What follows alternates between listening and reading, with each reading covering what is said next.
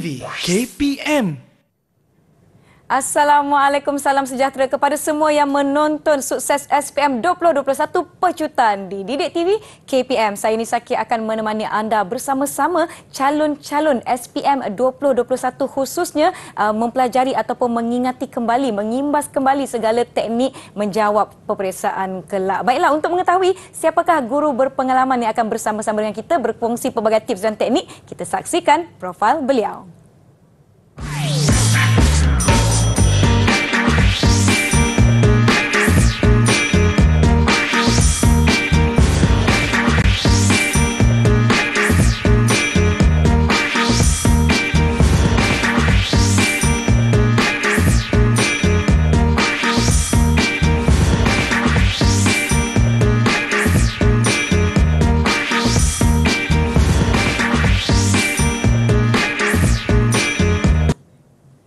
Baiklah murid-murid kita ingin mempersilakan Cikgu Ahmad Roslan dari SMK Seksyen 18 Shah Alam. Apa khabar Cikgu?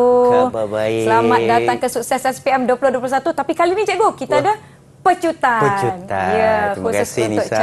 Kita. Assalamualaikum pada semua calon-calon SPM 2021. 21. Hari ya. ini ada pelbagai tips dan teknik saya ya, percaya betul. cikgu hmm. nak kongsikan kepada murid-murid yang sedang menonton. Pastinya ramai dah bersedia cikgu. Ya betul. Ha dengan ha. pen dan kertas dan sebagainya. Okay. Hari ini kita akan sama-sama uh, mengimbas kembali teknik menjawab soalan bagi mata pelajaran sains kertas 2. Okey, bahagian C. Bahagian C. C. Ha cikgu Roslan sudah bersedia? Ya. Saya okay. rasa murid-murid sudah bersedia. Saya ingin mempersilakan cikgu. Kita pun tak nak buang masa. Silakan cikgu. Terima kasih Nisa. Okey, uh, pada semua calon-calon SPM 2021, mm-hmm. hari ini cikgu akan uh, bongkarkan berkenaan dengan bagaimana nak menjawab soalan peperiksaan SPM yeah. untuk kertas 2 bahagian, bahagian C. C. Okey, tapi sebelum tu Nisa, yeah. sebelum tu kepada semua calon-calon pastikan semua berada dalam keadaan selesa tenang hmm. dan bersedia ya. Okey, kita akan mulakan dengan cikgu akan uh, buat satu review balik berkenaan dengan format peperiksaan. Baik. Okey, uh, so kita akan tengok apakah format dia. Alright. Okey. Uh, Okey. Kita teruskan. Okey. Tapi sebelum itu juga cikgu nak maklumkan di sini bahawa kita uh, akan uh, menjalani peperiksaan CJ Pelajaran Malaysia ini pada 2 hari bulan Mac hingga 29 bulan Mac. Hmm. Tapi bila subjek sains tu? Ha, bila ha, cikgu? okey.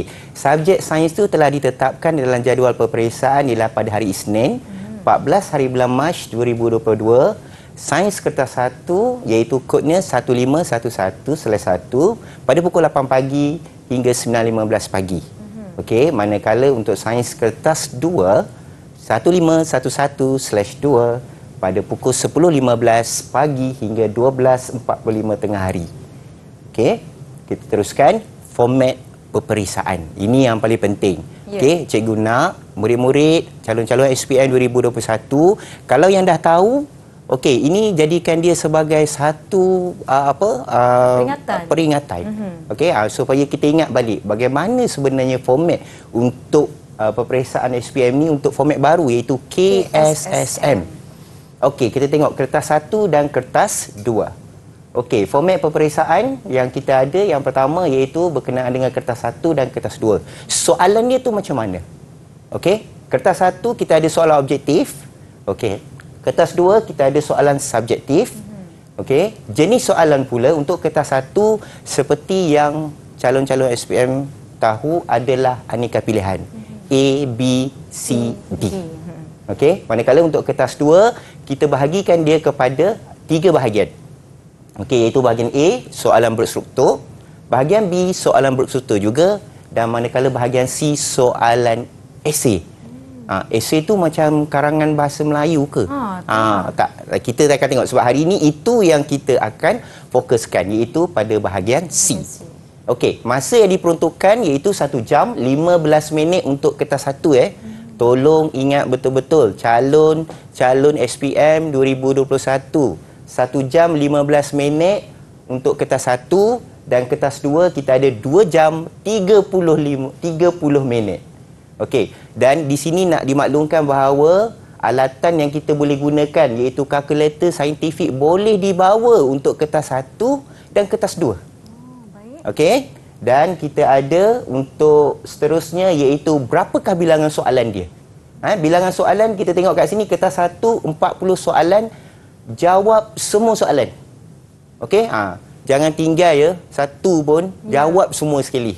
Okey, sebab markah diperuntukkan adalah untuk 40 mar 40 markah. Okey, manakala untuk kertas dua kita ada tiga bahagian tadi iaitu bahagian A, bahagian B, bahagian C.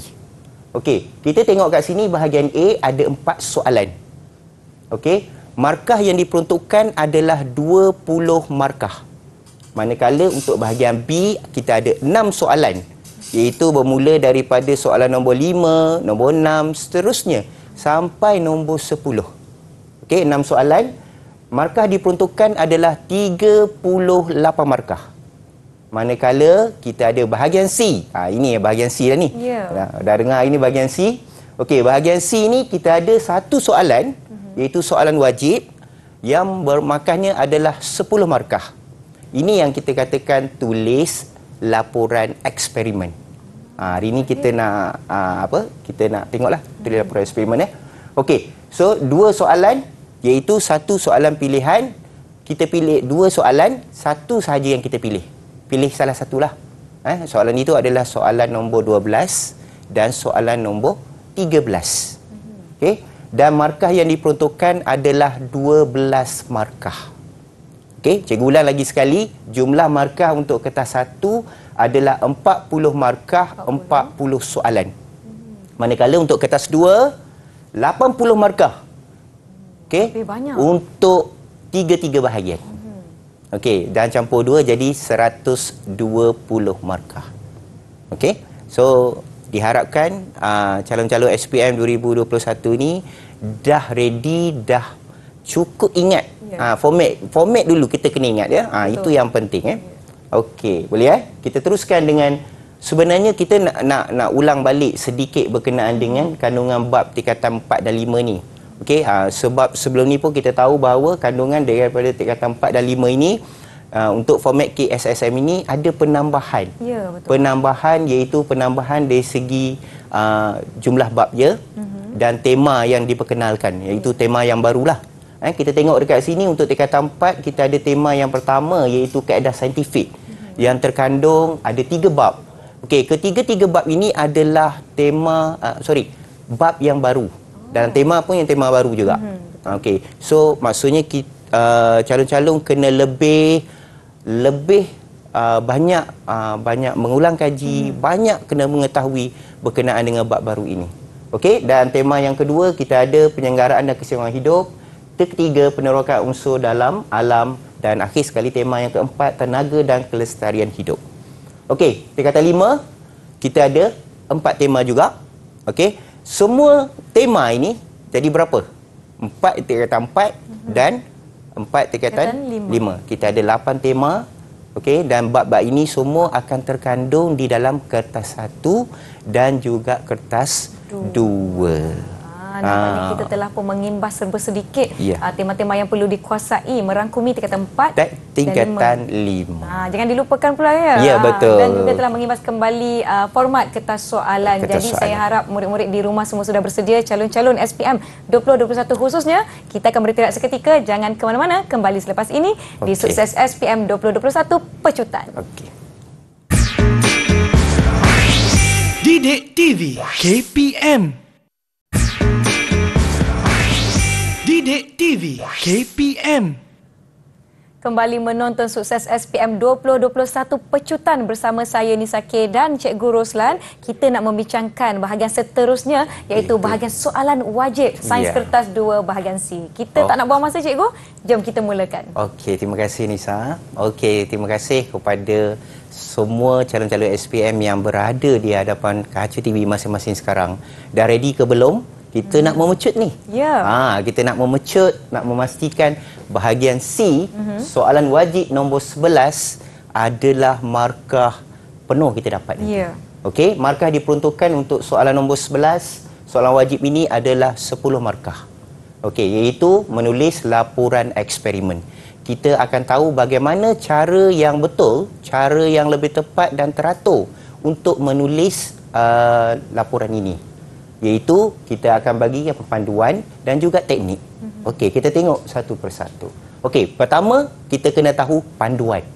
Okey, untuk jawab soalan nombor 11 ini, kita kena tahu panduan. Yang pertama, kita kena baca dan faham situasi soalan yang diberikan. Okey, berapa kali nak kena baca soalan ni mm-hmm. uh, soalan dan situasi ni berapa kali nak kena baca at least kita boleh baca sekurang-kurangnya dua kali okay. Ulang banyak kali pun tak apa tak mm. perlu risau bila dapat soalan tak perlu risau untuk nak jawab dulu yeah. kita tengok situasi dia dulu soalan dia apa mm-hmm. uh, apa si penyataan situasi dia apa gambar rajah dia macam mana right mm. Okey, yang kedua, kita garis maklumat penting daripada situasi soalan. Situasi soalan tadi yang kita telah baca, kita gariskan yang mana maklumat-maklumat yang penting. Baik. Okey? Dan yang ketiga, ini adalah kunci utama untuk soalan nombor 11. Nak tulis laporan, pastikan calon-calon SPM 2021 kena dapatkan dulu dua pemboleh ubah. Ha, iaitu pemboleh ubah dimanipulasi dan pemboleh ubah bergerak balas. Okey, kalau kita uh, tahu sebelum ni berkenaan dengan kemahiran proses sains ya, yeah. uh, cikgu pasti calon-calon SPM semua memang dah tahu bagaimana kita nak dapatkan dua pemboleh ubah ini daripada soalan ataupun situasi. Sebenarnya kita boleh dapatkan dua pemboleh ubah ini uh, daripada empat keadaan. Yang pertama daripada jadual. jadual daripada gambar rajah, hmm. daripada situasi, daripada graf pun kita boleh dapat. Yeah. Okey, so kita perlukan dua pemboleh ubah ini. Kenapa kita perlukan dia? Sebab dia adalah kunci utama. Kalau kita tersalah atau tersilap uh, pilih untuk pemboleh ubah ini, so maka dia memberikan kesan kepada kita punya jawapan untuk laporan eksperimen tersebut. Okey, dan yang keempat, dapatkan penyataan masalah daripada situasi soalan. So ini yang kita katakan yang paling baru dalam KSSM. Yeah. Ha, sebelum ni kita bila dibagi situasi, bila dibagi abang raja, dia akan tanya hipotesis. Betul. Hmm. Itu yang pertama. Tapi untuk KSSM dimulakan dengan penyataan soal, apa penyataan masalah. masalah. Okey, kita tengok soalan contoh nombor 11 ni.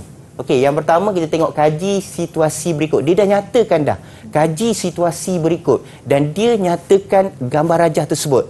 Ha, gambar rajah ini sebenarnya sangat membantu kita untuk kita jawab soalan nombor 11 ni. Okey, kerana gambar rajah yang diberi tadi dia akan membantu kita untuk menentukan keseluruhan laporan kita. Okey, tapi kalau kita tengok kat sini yang yang kedua tadi, panduan yang kedua kita kena gariskan kita kena gariskan untuk setiap uh, apa maklumat-maklumat penting yang kita perolehi daripada soalan.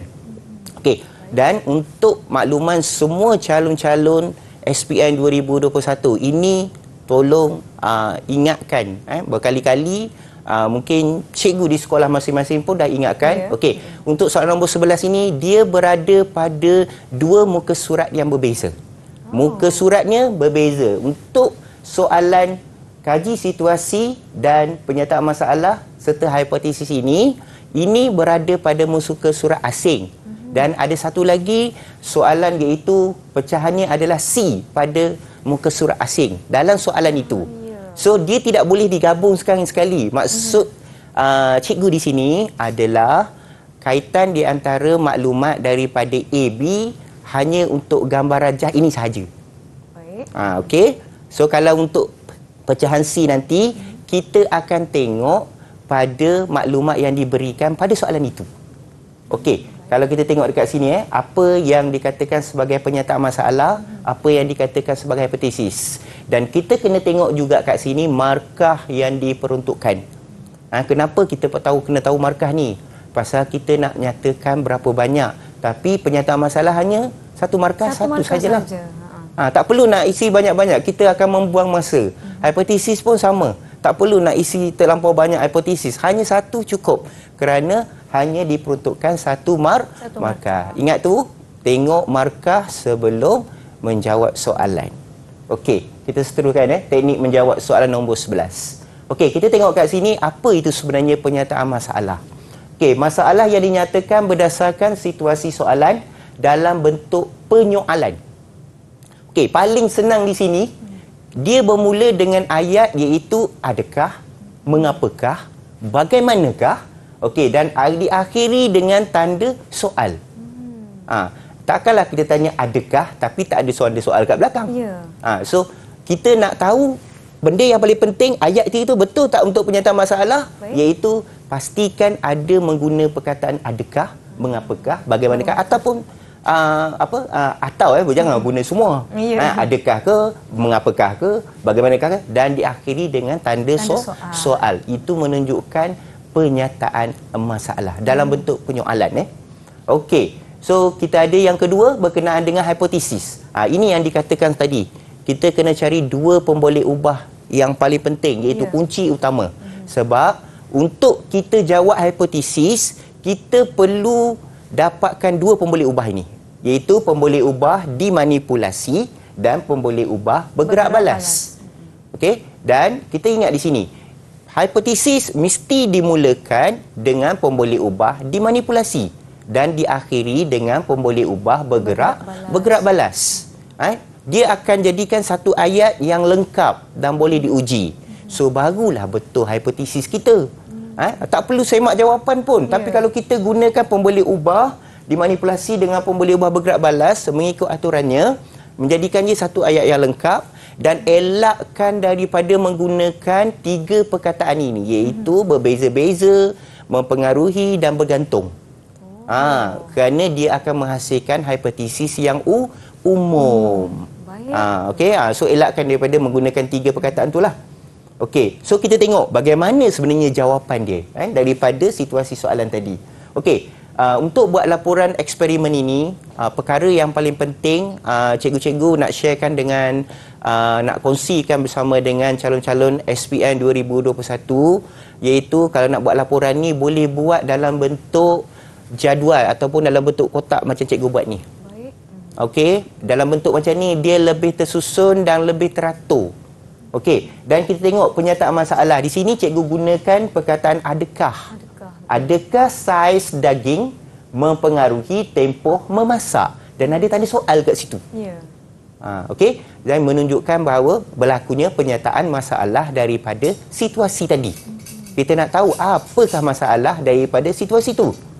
Okey, dan hipotesis pula kalau kita tengok kat sini, cikgu tak guna perkataan mempengaruhi, mm-hmm. uh, cikgu tak guna perkataan Berbeza-beza. berbeza-beza, uh, cikgu tak guna perkataan bergantung, tapi kita boleh guna pakai perkataan semakin. Ha, ha, kita pakai semakin kecil saiz daging, semakin cepat dimasak. Pemboleh ubah untuk dimanipulasi adalah saiz daging. Saiz daging. Sebab kalau cikgu ulang balik daripada atas, kita tengok ada saiz daging yang kecil dan ada saiz daging yang lebih besar. Okey, itu yang kita katakan sebagai pemboleh ubah dimanipulasi. Okey, dan semakin cepat dimasak. Kalau masak ni, benda yang perkara yang kita ingat adalah mas. Betul. Sebabnya kalau kita nak masak satu benda tu, contohnya nak masak daging, Ya. mesti dia berkait dengan masa. Masa. Berapa lama masa yang diambil. So itu yang kita akan hasilkan keputusan daripada eksperimen kita. So semakin kecil saiz daging, semakin cepat dimasak. So makin besar, semakin lama lah masa Ya, yang betul. ambil.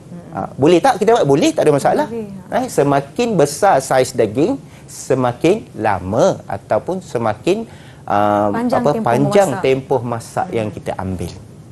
Okay?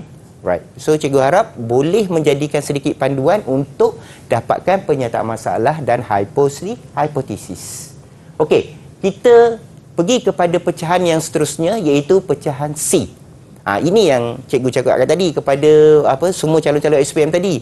Okey, iaitu di mana kita ada dua muka surat yang berbeza. Iaitu untuk situasi tadi pada muka surat berasingan iaitu muka surat lain dan ini pada C ini juga pecahan C ini juga pada muka surat yang lain. Okey, dan untuk bahagian C ni hanya fokus kepada maklumat yang diberikan kepada muka surat ini saja. Ha, so tak ada dah daging-daging semua dah tak ada dah. Ha, dah tak ada daging dah. Ha, yang tinggal sekarang kita kena baca balik apa yang terkandung dalam bahagian C ni. Okey, ha, sebab sebelum ni kita nampak mungkin calon rasa uh, keliru eh. Ha, dak gabungkan masa kat sini pun ada keluar daging-daging lagi. Ya. Ha, so sekarang ni kita tak nak, kita nak okey, dia fokus kepada helaian ini iaitu helaian yang berbeza daripada kaji situasi tadi iaitu pecahan A dan pecahan B. Okey, dan kita tengok kat sini markah yang diperuntukkan. Ha, kita nak kena tengok markah sambil kita baca kita gunakan panduan tadi iaitu kita gariskan mana-mana maklumat yang Maklumat kita penting. uh, rasa penting eh. Mm-hmm. Okey, so kita tengok kat sini berdasarkan pernyataan diberi reka bentuk satu eksperimen makmal untuk menguji hipotesis. Anda dengan menggunakan 2 gram cebisan mama hancur, 2 gram ketulan mama bersaiz besar, asid hidroklorik cair, penyumbat getah, salur penghantar, kelalang kon, kaki retot dengan pengapit uret dan jam randik. Okey, bahan-bahan ini telah disediakan. So maksudnya kita kena gunakan bahan-bahan ini untuk mereka bentuk satu eksperimen. Ha, di mana berdasarkan pada kriteria yang telah ditetapkan iaitu tujuan eksperimen dan diperuntukkan markahnya adalah satu. Kena pasti pun boleh ubah. Dah pun boleh ubah lagi. Ya. Ha, so pun boleh ubah ini penting supaya kita dapat dapatkan dua markah ni. Dua markah. Okey, dua pembeli ubah, dua markah. Tapi sebenarnya pembeli ubah ni ada tiga. Ya. Kalau nak lebih selamat, jawab tiga-tiga. Tiga-tiga. Kalau betul dua, betul tiga, dapat dua. Ya. Kalau betul dua, Dapat dapat dua. ha, so, lagi selamatlah. Okey, so prosedur atau kaedah ini merupakan markah yang paling besar. Iaitu empat markah. So, berapa prosedur nak kena buat atau kaedah ni, ha, nanti kita akan ceritakan. Baik. Dan kita ada yang terakhir, penjadualan data. Jumlah markah yang kat sini ada apa? 8 markah. Lapan markah. Dan campur dengan dua markah daripada hipotesis dan pernyataan masalah tadi, dua markah jadi 10 Sepuluh markah. Okey, kita tengok sikit berkenaan dengan apa itu tujuan eksperimen.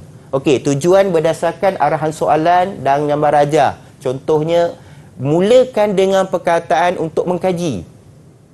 Ada orang tulis untuk mengkaji, menilai, uh, menganalisa. Tapi bagi cikgu, untuk memudahkannya, gunakan perkataan untuk meng- Mengkaji. mengkaji. Okey, pemboleh ubah melibatkan dimanipulasi dan pemboleh ubah bergerak bergerak balas. Okey, kita ada kena pasti dua pemboleh ubah. Okey, daripada maklumat eksperimen ni kita sebenarnya ada tiga pemboleh ubah. Okey, macam kita cakap tadilah. Ya. Jawab tiga, dapat, Dapat dua. dua. Ha. Jawab dua, Dapat dapat, dua. dua. Ha, so lebih baik jawab tiga. Ya. Kita mungkin ada kesilapan satu boleh membantu kita untuk kekalkan dapat dua markah. Hmm. Okey, kita teruskan dengan prosedur ataupun kaedah. Okey, sebenarnya untuk membuat prosedur atau kaedah ini, cikgu lebih suka calon-calon SPM lukis gambar rajah je dulu. Kerana apa nak lukis gambar rajah ni? Kerana gambar rajah ini membantu kita untuk kita pastikan kita punya prosedur atau kaedah tadi tersusun. Baik. Okey, berapa jumlah prosedur? Maksimum cikgu beri kat sini 5. Ha, ada yang buat sampai 6, 7, 8, 9. Mungkin terlampau panjang hmm. atau terlampau pendek Menggunakan maklumatnya. masa. Ya, menggunakan masa yang diperuntukkan dalam kertas dua ini. Hmm. So, kita boleh buat 5. Kenapa? Markahnya 4. Betul. Kalau kita buat 4, mungkin markahnya 4, memang betul. In case kalau ada kesilapan pada prosedur kita, dia akan mengganggu markah kita. Lebih baik kita buat 5. So kalau kita buat 5, so kita akan dapat 4 markah maksimum. markah. Mm-mm. Okey? Dan kita perhatikan di sini daripada langkah pertama, cara penyediaan radas. Sebab itu kita minta uh, calon-calon SPM untuk lukis gambar rajah dulu seperti ini, iaitu gambar rajah berlabel untuk memudahkan supaya supaya calon-calon tadi dapat mengikut turutan yang betul dalam menentukan prosedur ataupun. Kaedah. Okey, di antara 1 2 3 4 5 ni semua melibatkan pemboleh ubah. Iaitu pemboleh ubah bergerak balas dan pemboleh ubah dimanipulasi. So itu yang kita kata tadi. Pentingnya kita dapatkan pemboleh ubah itu. Okey, kita tengok bagaimana gambar rajah tadi dilabelkan kerana gambar rajah yang berlabel tadi membantu untuk mendapatkan markah jika prosedur dia tadi tidak tepat dengan apa yang dimaksudkan ataupun daripada ke- kehendak soalan. So gambar rajah tadi sangat membantu. Tapi dinasihatkan kepada semua calon boleh tulis kedua-duanya sekali. Lukis gambar rajah yang berlabel dan juga buat pro prosedur tadi. Okey, dan kita tengok kat sini ini adalah format laporannya iaitu ada jadual, Jadual. lebih kemas eh kita ada tujuan ini untuk mengkaji kesan saiz bahan tindak balas terhadap kadar tindak tindak balas dan pemboleh ubah tadi cikgu ada buat tiga okey iaitu dimanipulasi bergerak balas dan dimalarkan okey? Tiga-tiga ni cikgu masukkan. Eh, walaupun soalan itu nak perlukan dua saja. Tak apa boleh masukkan satu lagi pemboleh ubah dimalarkan. Dan prosedur atau kaedah tadi kalau kita perasan cikgu ada buat cakap lima so ada lima-lima prosedur ini yang melibatkan yang pertama. Dan ingat untuk prosedur ini okey cuba untuk buat dalam bentuk ayat pasif. Okey buat bentuk ayat pasif supaya ayat yang kita gambarkan tadi untuk boleh diuji di dalam eksperimen kita okey uh, contohnya aras air ditentukan di dalam buret dan catat bacaan awal buret so maksudnya kita nyatakan apa yang kita lakukan. Itu yang kita kenali sebagai dalam ayat pasif. Okey, dan kita ada yang seterusnya untuk pecahan C yang ketiga iaitu penjadualan data. Okey, di mana untuk penjadualan data ini memang kita nampak daripada format yang sebelum ni pun sama kebanyakannya calon-calon SPM ni sangat keliru. Sebenarnya penjualan data ini adalah merupakan paling senang untuk dapat markah lah. Nisa paling senang untuk dapat markah. Kerana apa? Cuba tengok apa yang ditulis.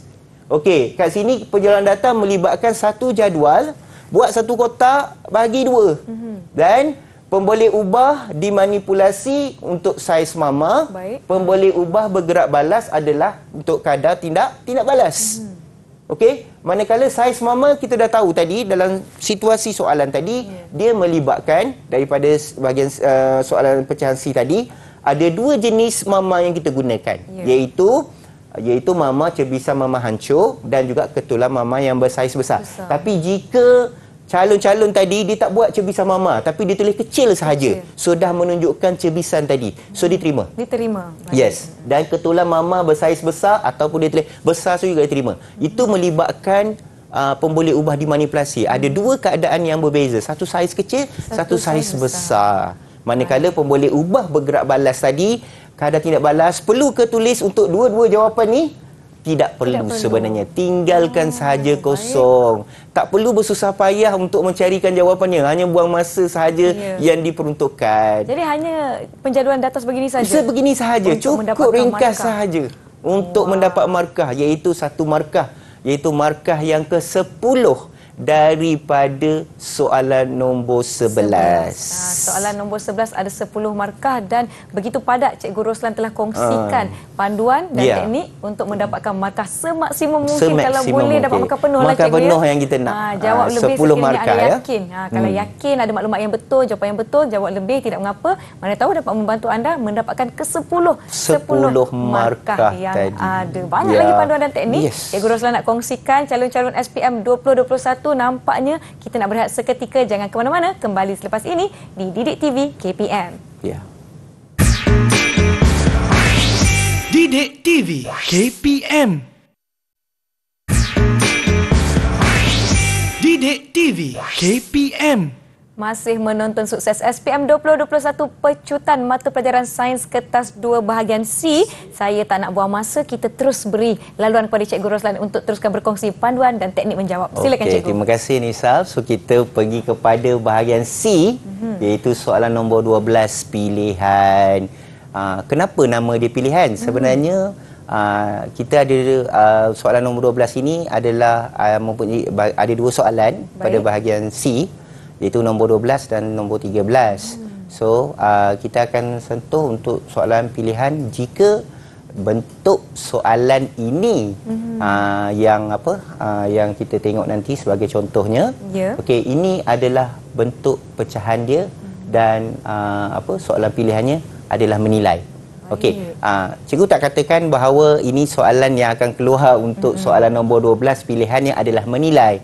Uh, jika soalan itu adalah menilai keluar nombor 12, ini adalah bentuknya. Baik. Okey, iaitu dia mengandungi ada biasanya dia ada empat pecahan iaitu 12A, 12B, 12C, 12D. Ha, dan mengikut pecahan-pecahan ini, soalan-soalan ini arasnya ada aras soalan ini semakin tinggilah. Ha, soalan semakin lagi semakin lama markahnya adalah semakin besarlah. Ha, mungkin untuk 12A markahnya adalah uh, kecil. uh, sampai kepada 12 itu makin lama makin besar. Okey, markah diperuntukkan untuk soalan nombor 12 pilihan ini adalah 12 markah. 12 markah. 12 markah. Hmm. Eh, kita tengok sama ada adakah statik pecahan soalan macam ni? Tak. Ha, ada mungkin sampai 12A, 12B dan 12C. Tapi hmm. sekurang-kurangnya ada tiga pecahan yang akan ada. Okey, kita tengok eh. Menilai. Apa sebenarnya menilai? Okey, dapat menyatakan dan menerangkan penilaian jawapan yang bersesuaian dengan situasi yang diberikan. Okey, jika ada satu soalan yang diberikan berdasarkan gambar rajah, hmm. berdasarkan situasi, Okey, dan kita dapat menerangkan penilaian kita berdasarkan pada gambar rajah dan situasi tadi. Baik. Berdasarkan kepada tekniknya adalah menyata dan menerangkan. Ah, ha, cukup mudah, menyata dan menerangkan. Okey, apa yang kita nak nyatakan terangkan itu dia akan berkait rapat dengan pecahan B iaitu sama ada kita akan buat perbandingan jika contohnya diberikan dua gambar rajah yang berbeza okey dia akan buat minta kita untuk buat pembandingan okey apakah perbandingan-perbandingan di antara kedua-dua gambar rajah tersebut dan untuk pecahan C biasanya dapat menerangkan kelebihan dan kekurangan berdasarkan pada penilaian jawapan yang bersesuaian okey kita tengok apakah panduan dan teknik yang kita akan gunakan di dalam soalan pilihan nombor 12 ini. Okey, panduan menjawab. Okey, calon-calon SPM boleh tulis, uh, boleh ingat. Ini sekurang-kurangnya boleh membantu calon-calon untuk jika memilih soalan nombor 12. Yeah. Okey, yang dia punya bentuknya atau konsepnya adalah menilai. Eh, ah, kita tak katakan bahawa nombor 12 keluar menilai. Mm-hmm. Tapi mungkin juga uh, keluar yang lain selain yeah. daripada menilai. Tapi jika keluarnya ini adalah panduan yang kita boleh gunakan. Okey, kita tengok baca dan faham soalan diberikan. Okey, garis maklumat penting daripada soalan. Ini sepatutnya calon-calon semua biasakan dengan ini, kena kena buat semua ini. Kerana dia dapat membantu supaya apa yang kita baca tadi kita fokus kepada maklumat-maklumat penting sahaja daripada soalan ataupun daripada gambar gambar raja. Okey, pastikan jawapan yang ditulis mengikut peruntukan markah diberikan. Ini salah satu uh, panduan yang patut calon-calon berikan perhatian yang khusus kerana markah itu penting untuk kita tahu berapa banyak jawapan yang perlu kita jawab. Betul. Uh, berapa banyak jawapan yang perlu kita tulis. Eh, supaya kita jangan mengganggu masa kita untuk menjawab soalan kertas uh, dua bahagian C. Eh. Baik. Okey. So, kita tengok buat jawapan dalam bentuk jadual. Okey, kalau kita maklum sebelum ni bahagian C ni adalah soalan bentuknya esei. Tapi mungkin esei itu adalah berbentuk karangan bahasa Melayu seperti karangan bahasa Melayu. Bukan. Sains uh, cuba elakkan daripada buat karangan macam tu. Tapi hmm. boleh buat dia dalam bentuk jadual. Okey? Kerana contohnya kita ada perbandingan. Kita ada persamaan dan perbezaan. Eh? Cikgu akan menunjukkan satu contoh. Okey, iaitu soalan contoh soalan nombor 12. Iaitu berkaitan di antara dua rajah. Iaitu 12.1 dan 12.2 tindak balas nuklear.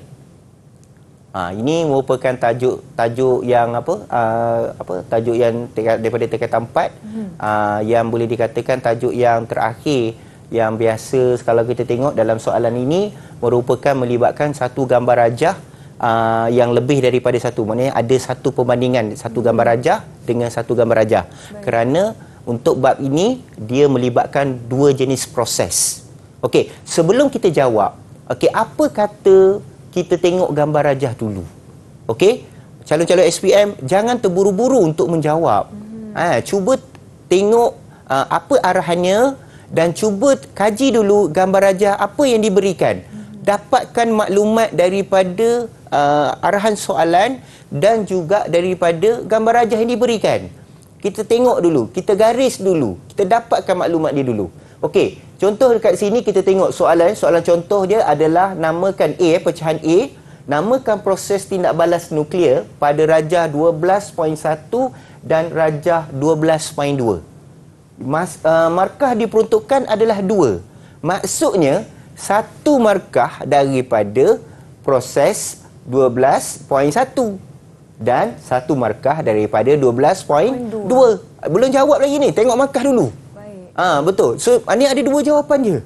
So tak perlu terburu-buru nak uh, nak nak fikir berapa agaknya jawapan nak diberikan. Berapa proses? Pasti ada dua sebab Ya. dua markah yang diberikan. Dan dia pun tanya pun ada dua gambar raja sahaja. Okey, pecahan B. Terangkan bagaimana tindak balas nuklear dalam rajah 12.2 boleh berlaku di matahari. Contoh di sini menunjukkan bahawa dia spesifik kepada satu gambar rajah. So dia hanya nyatakan pada gambar rajah 12.2. So tak perlu tengok gambar rajah 12.1 untuk pecahan B. Baik. Ha, okey. Dan dia nyatakan di sini bila berlaku di pada matahari. So kita tahu matahari merupakan sumber tenaga yang terbesar di galaksi. Ya. Besar. Mungkin dari segi tenaga yang dihasilkan begitu banyak cahaya eh uh, ataupun apa dia punya uh, apa uh, tenaga luaran dia, hmm. uh, dia memberikan kesan kepada uh, planet-planet yang sekitarnya kan. So maksudnya besar eh. Okey, dan markah diperuntukkan di situ adalah dua dua markah. So maksudnya dua markah yang perlu kita terangkan. Okey, dan pecahan C di sini berikan perbandingan antara tindak balas nuklear dalam rajah 12.1 dan rajah 12.2. So baru dia minta kita buat perbandingan. Tadi dia tanya kita yang pertama tu berkenaan dengan proses. Betul. Yang kedua dia cakap kita tanya pasal apa yang berlaku di matahari untuk rajah 12.2. Yang ketiga dia tanya kita perbandingan. Okey? Cikgu akan tunjukkan iaitu bagaimana bentuk jawapan yang boleh ditulis. Baik. Sesuai ditulis oleh calon-calon SPM supaya jawapan yang diberikan itu lebih tepat dan lebih ringkas dan mudah untuk dibaca oleh pemeriksa. Baik. Okey, kita tengok dekat sini. Okey, jawapan yang diberikan adalah okey, boleh tak nak buat kotak macam ni? Boleh. Tapi tolonglah jangan buat markah ni. ha, markah ni tak perlulah sebab cikgu nak tunjuk bahawa ni saya kat sini berapa markah yang diberikan untuk jawapan. Baik. Tapi boleh ke nak buat kotak ada soalan, ada jawapan? Boleh. Sangat dibolehkan kerana memudahkan lebih kemas, lebih cantik, lebih teratur. Okey, dan kita tengok dia nak dua proses tadi. Cikgu nyatakan dengan secara ringkasnya, Rajah 12.1 proses dia apa? Pembelahan nuklear. Rajah 12.2 pelakuran nukleus. Dan markah diperuntukkan adalah satu-satu. Cukup dua. Cukup. Tak perlu nak buat uh, apakah proses apa semua. Tak perlu. Hanya menyatakan 12.2 apa jawapannya. Ya. 12.1 sorry, 12.1 apa jawapannya. Rajah 12.2 apa jawapannya. Cukup memadai untuk mendapat dua markah. Dua markah. Hmm. Manakala untuk pecahan B tadi dia tanya apa yang berlaku di matahari untuk 12.2. Okey, kita boleh nyatakan seberapa banyak sebenarnya. Kita boleh nyatakan empat. Kita boleh nyatakan jawapannya. Okey, tapi maksimum markahnya adalah dua, Dua. sahaja. Tapi yang seperti kita tahu tadi, kalau namanya matahari, tenaganya besar, suhunya tinggi, okey, menghasilkan dia. Sebenarnya itu kita boleh um, apa buat dari segi pengetahuan kita. Baik. So kita boleh dapat jawapan dengan mudah dan markah yang diperuntukkan iaitu dua markah kita boleh dapat dengan lebih mudah. Okey, ha, untuk mengelakkan kehilangan markah. Tapi nak jawab empat boleh, tak ada masalah. Tapi maksimum dua. Dua markah. Okey, kita pergi kepada pecahan C. Ini yang dikatakan sebagai perbandingan. Eh, ha, mungkin kalau kita sebelum ni calon-calon uh, SPM fikir bahawa kita kena tulis karangan, perbandingan, buat jadual. Cukup mudah. Buat jadual, buat perbandingan. Bila nama perbandingan, ada persamaan, ada perbezaan. Okey, kita boleh nyatakan untuk persamaan apa, perbezaan dia apa dalam bentuk jadual. Dan ayatnya pun pendek-pendek je. Tak perlu nak huraikan ayat yang begitu panjang sehingga kan mengambil masa kita. Ya. Kita hanya boleh, kita istilahnya kita boleh pakai letak point saja Ya. pun kita dah dapat markah. Cukup senang untuk dapat markah. Okey, ha, tak susah nak dapat markah eh. Dan kita tengok dekat sini, markah diperuntukkan adalah empat markah maksimum. Okey, empat markah maksimum. Tapi kalau kita nak lebih dari nak tulis daripada empat markah, tetap kita akan dapat empat markah sahaja. Buat jadual lebih mudah, lebih selamat, lebih cepat dapat markah. Okey, ha, lebih cepat nak kata markah tu nak kata nak kita punya ha, buat dalam bentuk jadual. Ya. Lagi senang eh. Okey, so kita ada pecahan yang terakhir dalam contoh soalan nombor 12 ini adalah pecahan D. Okey, jika ada pecahan ini merupakan uh, mungkin markahnya lebih besar juga iaitu dalam bentuk uh, iaitu empat markah dalam bentuk satu gambar rajah yang berbeza. Baik. Ha, uh, sebab kalau kita ikutkan untuk soalan nombor 12 ini dia punya pecahannya itu uh, mungkin dalam satu bab ataupun dalam satu tajuk. Kemungkinan juga tajuknya berbeza. Ha, itu kita tak pastilah. Ha, tapi yang kita tahu bahawa jika tajuk yang sama dia uh, akan memberikan mudah kita untuk uh, mengetahui berapakah jawapan yang untuk kita uh, tulis Baik. dan markah yang kita akan perolehi. Okey, cuba tengok pada gambar rajah ini nampak sangat uh, apa sangat complicated ya. Ini begitu merupakan kompleks, uh, ko- kompleks eh. Ya. Okey, sebab nampak ada nombor satu, nombor dua. Uh, sebenarnya kalau kita tengok pada gambar rajah itu, itu adalah susunan atau bagaimana uh, dia punya uh, rajah ini dia berfungsi. Mm-hmm. Yang bermula daripada nombor satu, nombor dua, nombor tiga, nombor empat. Cuma dia tanya soalan itu adalah pendapat anda apakah kelebihan kekurangan sekiranya stesen jana kuasa ini digunakan sebagai sumber tenaga elektrik di Malaysia. Ha, so kalau kita tengok ini adalah berkaitan dengan penghasilan tenaga uh, tenaga elektrik.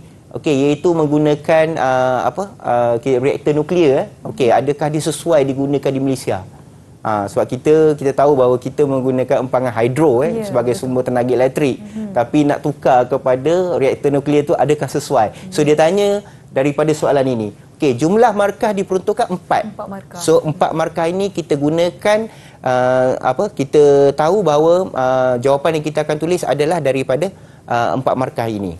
Okey, kita tengok. Boleh juga buat dalam bentuk jadual. Tak perlu buat karangan. Tak perlu buat esei. Boleh tulis dalam bentuk jadual. Dia tanya apa kelebihan, apa kekurangan.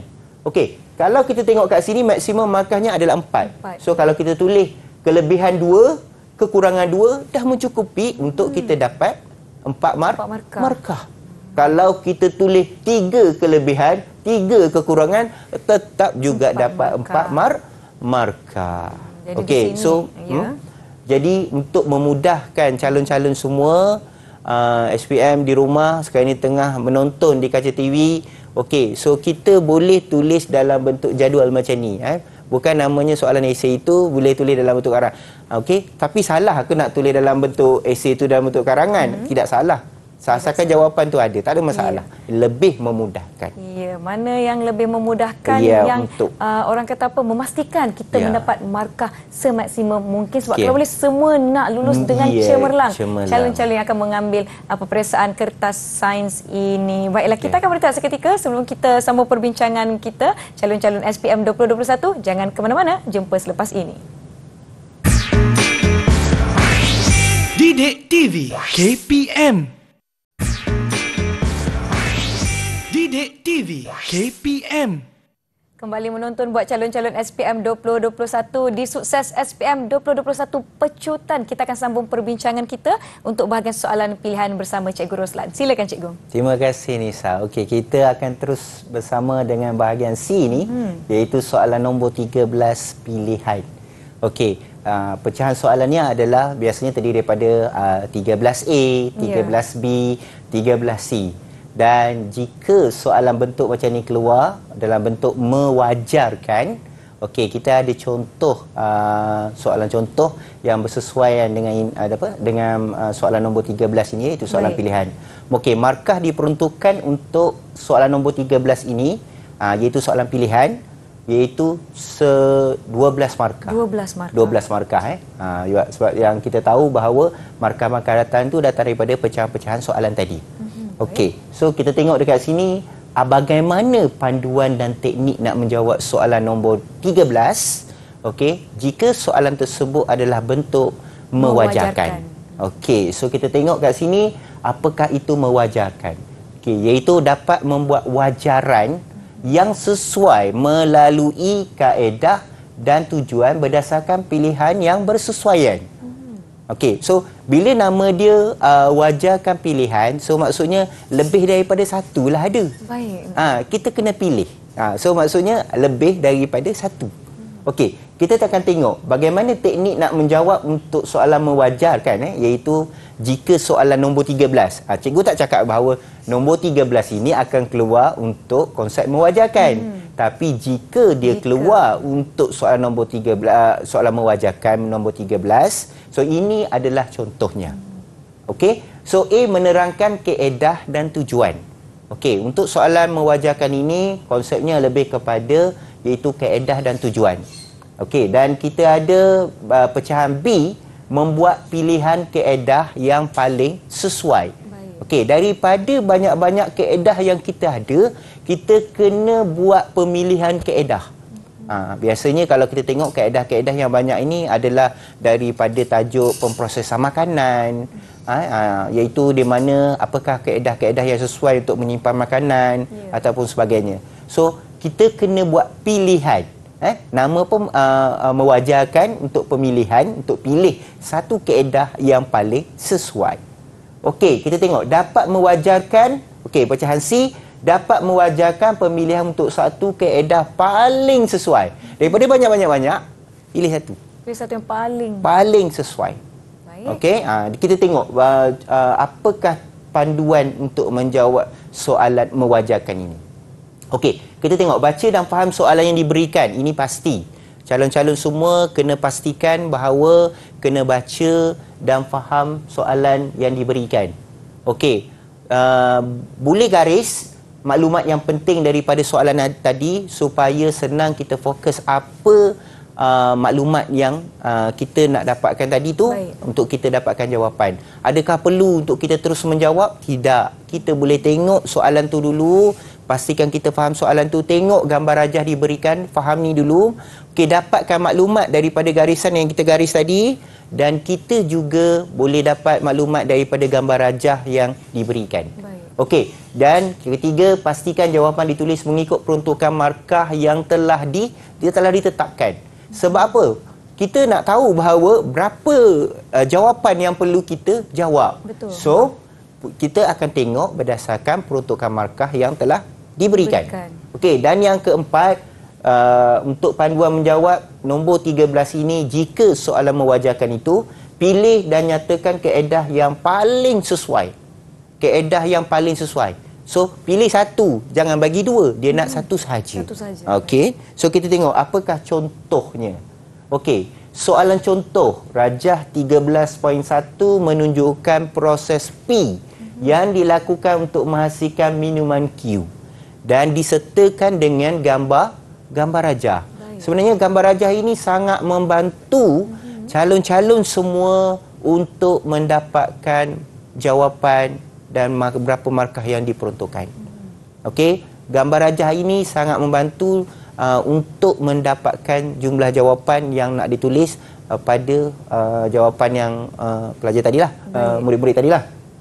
Okey, kita tengok pecahan A ha, ada uh, satu Roman okey daripada pecahan A itu dia pecahkan lagi kepada satu Roman pecahan satu iaitu terangkan keedah proses P dilakukan untuk menghasilkan minuman Q hmm. okey markah yang diperuntukkan di sini adalah dua, dua markah, markah. okey manakala kita ada pecahan yang kedua daripada A tadi hmm. adalah nyatakan tujuan proses P dilakukan dua markah. Baik. So maknanya dua jawapan yang kita kena berikan. Ya. Manakala untuk pecahan yang awal tadi A satu tadi uh-huh. juga dua dua, dua markah. Jawapan. Kita tengok bagaimana jawapan tadi diberikan. Okey, yang pertama kita tengok kat sini adalah kita boleh tulis dalam bentuk jadual. Okey, dan tak perlulah tulis tak markah ni ya. Ha, tak perlulah tulis markah ni sebab ini uh, cikgu nak tunjukkan kepada calon-calon hmm. semua yang ada di rumah sekarang iaitu markah berapa untuk jawapan yang diberikan. Baik. So kita boleh tulis soalan berapa, jawapan dia apa. Okey dan kita boleh di sini bahawa dia nak kaedah proses P tadi. Hmm. So kita ada dua jawapan dan diperuntukkan dua markah. markah. Okey, di sini kita tengok jawapan diberikan satu minuman dipanaskan pada suhu 63 darjah Celsius selama 30 minit. Ini kita kena bacalah. Kita Baik. kena ingatlah. Mm-hmm. Ha kalau contohnya dia bagi uh, 63 darjah Celsius selama 40 minit, mm-hmm. so akan ada masalah lah ya. Okey ha, so dia tengok pada kita punya jawab apa maklumat kita juga, okey.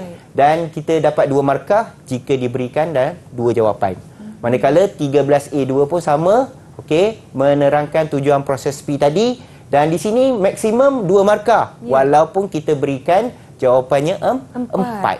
Anak bagi lima pun boleh. Tapi maksimum tetap dua mar, dua markah. Okey, ini contoh, uh, sorry, soalan contoh untuk B. Okey, daripada awal tadi, cikgu dah terangkan kepada calon-calon semua, sila pastikan tengok soalan dia dan tengok juga gambar rajah. Baca arahan soalan tadi dan juga baca penerangan soalan tadi. Dan gambar rajah tadi akan membantu bagaimana nak mendapatkan jawapan. Ha? ha jangan nak ya, fikir lah. Dekat dalam soalan tu sebenarnya dah jawapan berdasarkan yeah. memang dah ada. Ada hint kepada gambar rajah tersebut.